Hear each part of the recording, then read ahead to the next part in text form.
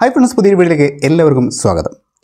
Wild card എന്റെയിൽ വന്ന കണ്ടസ്റ്റന്റിൽ നല്ല strong ആയിട്ടുള്ള ഒരു കണ്ടസ്റ്റന്റ് കൂടിയാണ് പൂജ.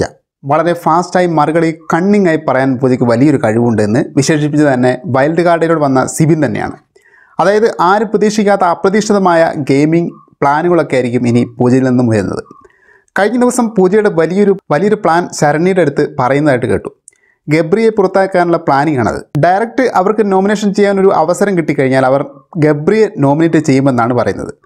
കാരണം അവർക്കിപ്പോൾ അതിനുള്ള അധികാരമുണ്ടല്ലോ.